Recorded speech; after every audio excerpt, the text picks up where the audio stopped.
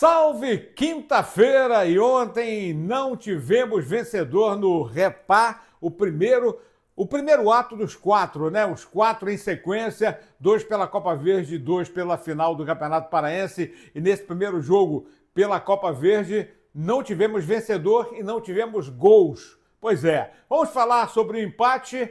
É, vamos falar também da possibilidade desse lateral que está pintando pela Curuzu. E a Copa Grão Pará já tem um finalista garantido, é, esperando o seu adversário. A Tuna venceu agora de manhã o Santa Rosa por 1 a 0 e espera o vencedor de Águia e São Francisco que jogam nesta sexta-feira. E aí, tá esperando o quê? Vai aqui no botãozinho, aciona o sininho e ó, assina o Tomazão TV, humildemente eu peço, estamos crescendo, vamos chegando já aos 24 mil inscritos, com 25 mil eu anuncio o Super Prêmio, com 30 mil tem sorteio. Super prêmio para você na parceria com o Globo Esporte Magazine, tá? Meu querido Samidal, aquele abraço, obrigado mais uma vez pela força no canal e tamo junto. Não esquece que a Bet Nacional hoje você pode profetizar. Vai aí no link descrito aqui no canal faça seu cadastro e profetize com a Bet Nacional. É importante. Jogos da Libertadores, jogos importantes do futebol europeu. Você pode profetizar, tá certo? Então vamos em frente, vem com a gente no Tomazão TV. Uma análise assim rápida, ouvi as duas entrevistas coletivas, vi o jogo e é, o Remo teve um primeiro tempo muito superior ao Paysandu, e no segundo tempo o Paysandu equilibrou as coisas, teve chance até de ganhar o jogo, mas o Remo ontem acabou surpreendendo sim ao Hélio dos Anjos com todos os desfalques, né? Mexeu na zaga, mexeu no meio e perdeu importantes jogadores durante a partida, principalmente no segundo tempo. Enquanto que o Hélio no segundo tempo conseguiu ajustar o time. O Ribamar, ele precisa de um gol maior porque as chances que ele teve era para ter matado o jogo no primeiro tempo ontem o Remo que fez com que o Paysandu não conseguisse jogar, mesmo com as linhas altas. O Remo adiantou a marcação e o Paysandu acabou se atrapalhando. Mas com um ponto a ser registrado. Uma noite infeliz do Biel, que sempre foi um jogador que apareceu muito bem no meio-campo do Paysandu, mas o meio-campo não se acertou. Né? O, o, o, o, Nicolas muito isolado, mas é quando a bola chega nele, ele consegue é, criar algum tipo de situação. Vinícius Leite apagado. O Jean Dias fez muita falta. O Edinho foi bem no jogo, abrindo sempre pela direita, um jogador que tem uma, uma bela movimentação.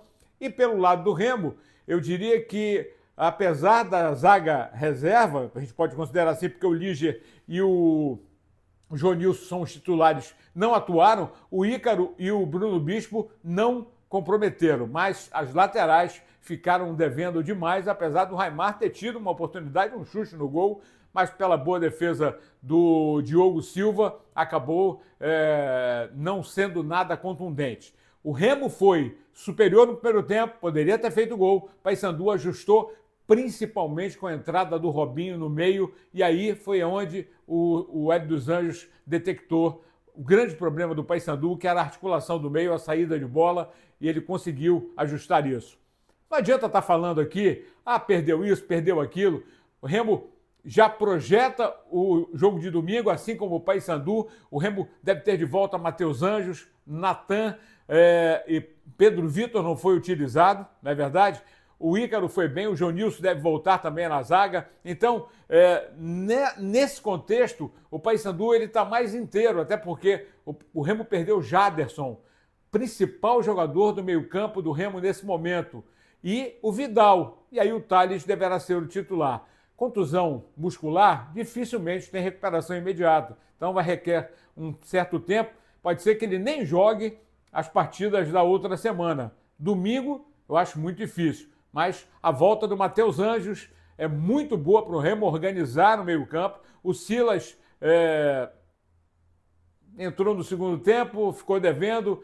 O Ítalo teve até chance, né? Mas o Ribamar, mais uma vez, precisa colocar o pé na forma, como diz o torcedor, é, na verdade, na gíria do torcedor. Maioria de torcedores do Paysandu ontem que era o mandante. Agora, ah, no primeiro jogo do Parazão, o mandante será, será o Remo, né? Mesmo assim, tivemos quase um milhão de arrecadação, 32 mil, 33 mil torcedores no Mangueirão numa noite de quarta-feira à noite, muito legal, o torcedor respondendo e não deve ser diferente no próximo domingo, que agora é a primeira da decisão do Parazão. Aí na quarta, vamos decidir a vaga totalmente aberta. Se for empate, pênalti. A mesma coisa vai acontecer com o Parazão.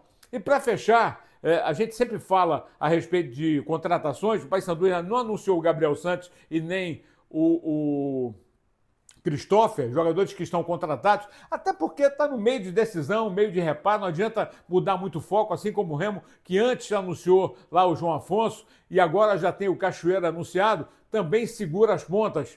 Mas esse jogador aqui, o, o Totti, lateral do Santa Cruz, é, aliás, foi a imprensa do, de próprio, do próprio, de próprio Pernambuco, lá de Pernambuco, é quem soltou a notícia e nós absorvemos por aqui. Pode ser a próxima contratação do Paysandu para a Série C do Campeonato Brasileiro. Lateral Totti do Santa Cruz, que pode estar pintando na Curuzu.